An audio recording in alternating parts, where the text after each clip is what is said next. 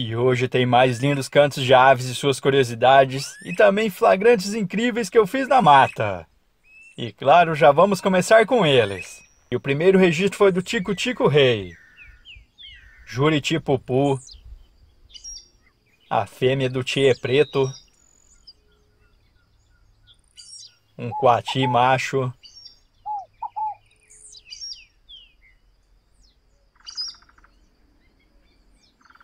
Sabiá Barranco. E o último registro desse local foi do Coati. Ponto 2, Gralha Picaça. Tico Tico de Costa e Cinza.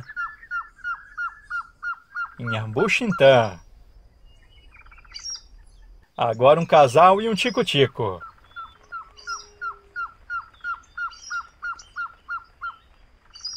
Gato Mourisco. E olha aí mais outro. Depois o macaco prego. E essa ave é uma saracura do mato. Esses são dois graxaíns.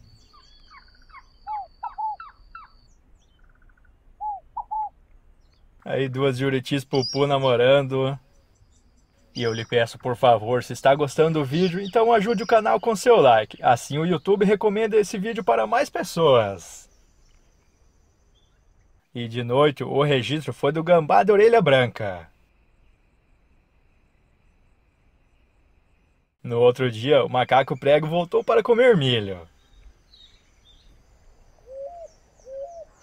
Sabiá Barranco.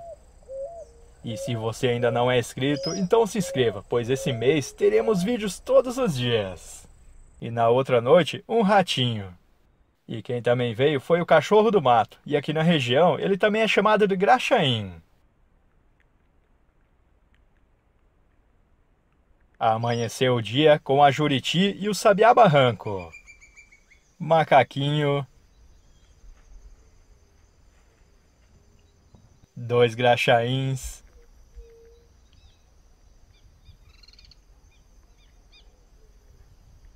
Mais uma bela filmagem da Saracura do Mato.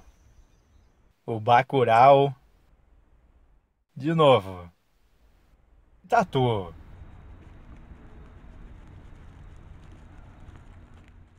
O rato também veio. E esse bicho é outro gambá da orelha branca. E o dia começa com as gralhas picaça.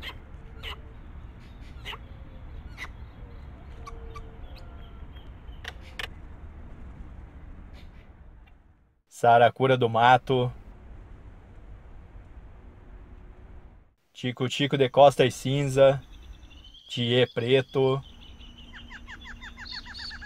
As gralhas novamente.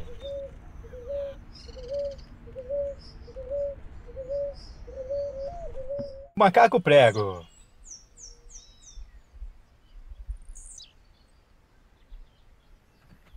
Agora um casal de tchê preto. A fêmea é de cor marrom.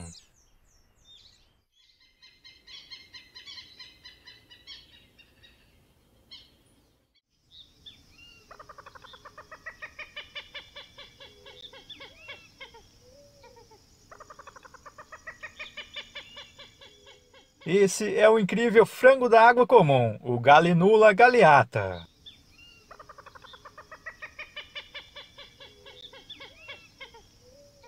Também chamado de galinha da água, é uma das aves aquáticas mais comuns do Brasil. Uma de suas características é o seu escudo frontal vermelho, que é muito marcante. Essa ave gosta de água e ali se alimenta de pequenos invertebrados e vertebrados e principalmente de vegetais.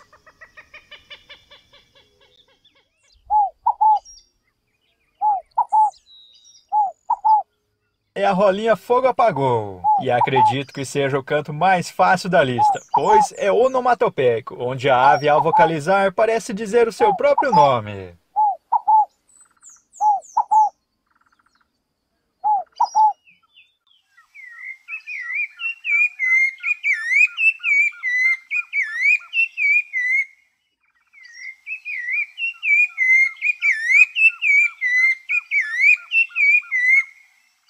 Eis aí o sabiá laranjeira. Sem dúvidas, é a espécie de sabiá mais conhecido do Brasil e também dono de um dos cantos mais bonitos do país. O sabiá laranjeira mede 25 centímetros de comprimento e pesa até 70 gramas. Sua plumagem é parda, tendo o ventre destacado pela cor vermelho ferrugem e levemente alaranjado.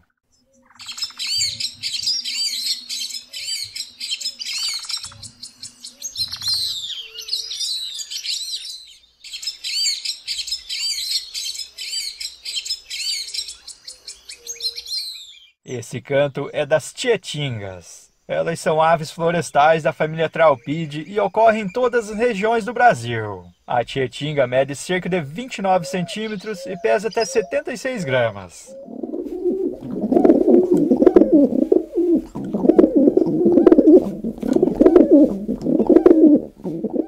Conheça o pombo doméstico, o Columba lívia. Com cerca de 38 centímetros de comprimento e um peso de até 380 gramas, esse pombo emite essa vocalização.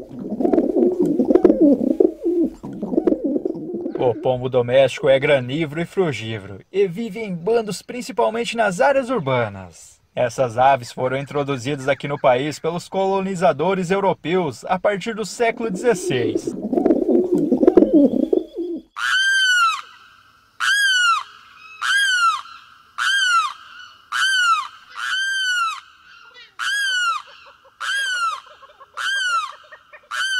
Essa é a inconfundível vocalização do carão. Com até 70 centímetros de comprimento, é uma ave que gosta do ambiente aquático. Nesses lugares, ele se alimenta dos caramujos aquáticos. Captura eles nas margens das águas de rios, lagos, açudes e áreas pantanosas.